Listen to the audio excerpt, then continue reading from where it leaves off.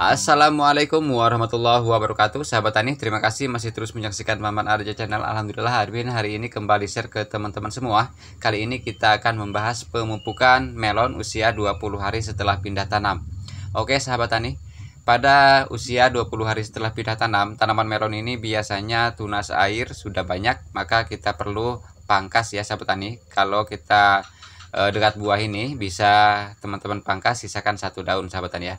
Nah, sahabat tani, untuk e, tunas air yang tidak kita pelihara nantinya, maka di daun ke-10 ke atas itu bisa kita pangkas tunas airnya sahabat tani ya untuk mengurangi penyaluran nutrisi pada seluruh air sahabat tani ya. Jadi nantinya nutrisi akan terfokus pada seluruh air yang ada buahnya. Jadi yang ke sini kita pangkas aja. Nah, seperti ini. Ini yang bawah ya. Ini 1 2 3 sulur air kita pangkas. Nah, kita hanya memelihara sulur air yang 6 7 8 sahabat tani ya. Oke, sahabat tani, kali ini kita akan melakukan pemupukan karena tanaman melon kita sudah berbuah sahabat tani ya. Buahnya juga sudah agak lumayan besar, sudah sebesar telur sahabat tani ya. Oke, sahabat tani, untuk pemupukannya kita akan melakukan pemupukan semi organik sahabat tani ya. Kita menggunakan pupuk MKP dan juga kita akan menggunakan NPK 16 dan sedikit pupuk boron sahabat tani ya. Ini bagus untuk melebatkan buah melon sahabat tani ya. Kita juga menggunakan trikot cair dan juga ini gula merah sedikit sahabat tani ya. Dan juga pupuk organik cair. Oke sahabat tani kita langsung saja ke proses pemupukannya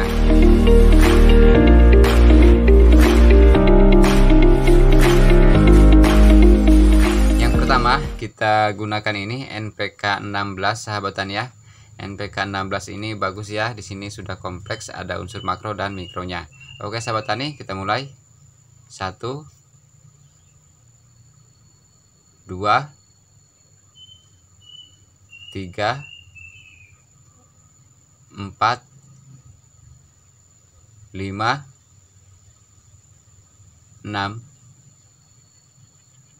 7 ya sahabat tani kita akan gunakan 7 sendok untuk NPK 16 nya per 10 liter air sahabat tani ya. Oke sahabat tani ini juga penting ya. Di usia 20 hari setelah pindah tanam ini kita penting tambahkan boron. Ini untuk melebatkan buah tanaman sulur-suluran sahabat tani ya. Baik itu semangka, melon, timun sebaiknya ditambahkan dengan boron. Oke sahabat tani selanjutnya kita tambahkan ini pupuk MKP kalau teman-teman nggak punya MKP bisa diganti dengan KCL dan SP36 sahabat tani ya. Kita gunakan MKP 1 sendok saja sahabat tani untuk 10 liter air supaya lebih hemat sahabat tani ya. Oke sahabat tani selanjutnya kita aduk sahabat tani. Ini komposisi untuk fase pembuahan sahabat tani ya karena kita akan memperbesar buah melon sahabat tani ya. Oke sahabat tani karena kita menggunakan organik juga maka kita akan tambahkan dengan gula merah sedikit sahabat tani ya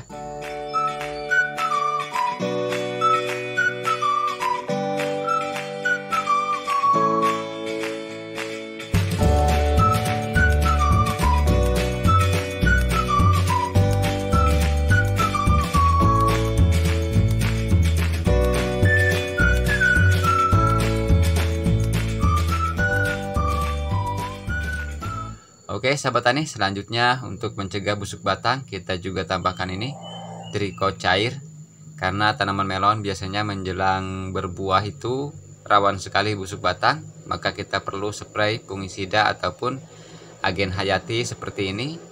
Ini mencegah dari akar dari tanaman sahabat tani ya dari tanah.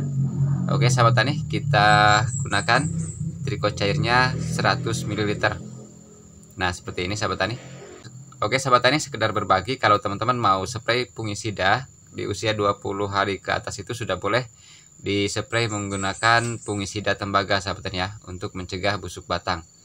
Oke sahabat tani untuk selanjutnya kita gunakan ini pupuk organik cair ini awalnya ini skor organik sahabat tani ya booster buah tapi karena sudah lama sahabatnya kita sudah tambahkan dengan air jakaba kita akan gunakan 200 ml untuk skor organik yang dicampur dengan air jakabanya Iya sahabat tani, kita aduk dulu sahabat tani supaya tercampur antara pupuk kimia dan pupuk organik sahabat tani ya. Oke sahabat tani, selanjutnya kita tinggal kocorkan per lubang tanam satu gelas sahabat tani ya. Oke sahabat tani, ini hanya berbagi saja di usia 20 hari setelah pindah tanam untuk tanaman melon bisa juga aplikasi tugal sahabat tani ya atau ditabur. Jadi kita di sekitar di antara tanaman melon itu kita buat lubang lalu kita masukkan pupuk yang sudah masuk ke fase generatif sahabat ya seperti NPK grower atau NPK booster sahabat ya dan kalau misalkan punya pupuk organik bisa ditutup dengan pupuk kompos setelah kita masukkan pupuk kimia pada lubang pupuk sahabat ya.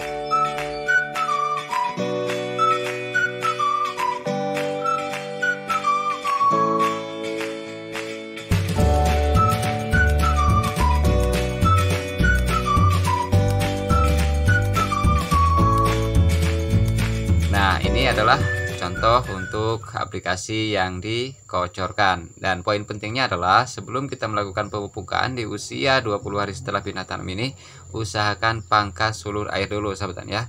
Oke sahabat tani kita kocor-kocorkan per lubang tanamnya satu gelas untuk pupuk yang sudah kita cairkan sahabat tani ya. Dan ini penting ya ketika tanaman melon sudah berbuah seperti ini kita perlu tambahkan unsur fosfat dan kalium dan juga boron dan ini juga perlu kita rolling tiga hari berikutnya atau lima hari selanjutnya kita rolling dengan dikocor pupuk kalsium sahabatan ya. Malam ini kita kocor menggunakan NPK plus boron nanti kita kocor lagi menggunakan kalsium. Kalau ada kalsium plus boron atau kalsium plus trichoderma sahabatan ya supaya tanamannya sehat.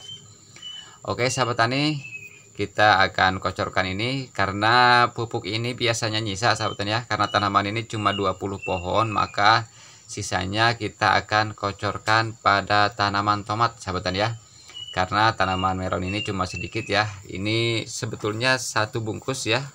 Dulu itu kita semai tapi karena gagal semai ya di persemaian banyak dimakan curut jadi sisanya cuma 20 lubang tanam saja sehingga pemupukannya kita tidak ke melon saja tapi kita akan kocorkan ke tanaman tomat juga karena tanaman tomat juga sudah mulai berbunga bahkan sudah berbuah sudah kecil-kecil ya buahnya.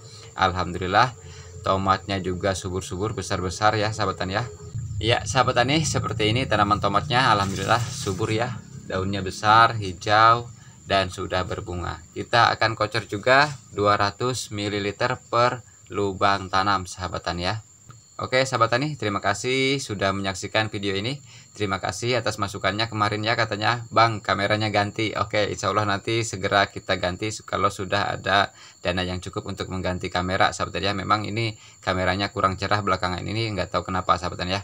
Oke sahabat tani, seperti ini tomatnya saat ini, walaupun ada yang bintik hitam seperti ini, ini kena serangga sahabat tani ya minimal kita sudah puas Alhamdulillah tanaman tomat ini cepat pertumbuhannya dan sudah berbunga juga berbuah Oke sahabat tani, terima kasih sudah menyaksikan. Semoga video ini bermanfaat. Poin penting yang perlu diingat adalah sebelum melakukan pemupukan, sebaiknya pangkas dulu tunas air yang tidak perlu pada tanaman melon pada video kali ini.